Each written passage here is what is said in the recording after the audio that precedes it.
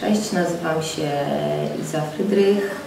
Jestem nauczycielem z Łodzi, pracuję w gimnazjum, uczę trzech przedmiotów WF-u muzyki i zajęć artystycznych. E, I tak naprawdę to dopiero zaczynam przygodę z e, tolerancją, ponieważ e, u nas nie ma nikogo takiego, kto się tym zajmuje. A uważam, że jest to ważny temat. I jak się zastanawiałam jak gdyby nad tym, dlaczego tu przyjechałam, to pierwsza odpowiedź była bardzo prosta. No, bo nie ma tolerancji, bo właśnie się nikt tym nie zajmuje u nas. Ja czuję się troszeczkę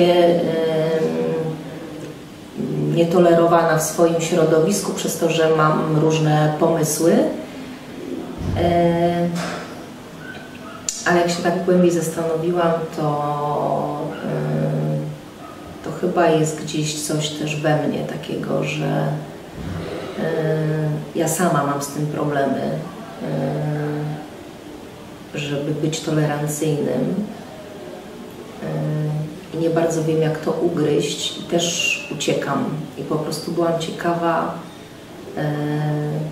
pewnych rozwiązań i tego, co mogę zrobić przede wszystkim ze sobą, a potem być może i z uczniami, czy nawet nauczycielami.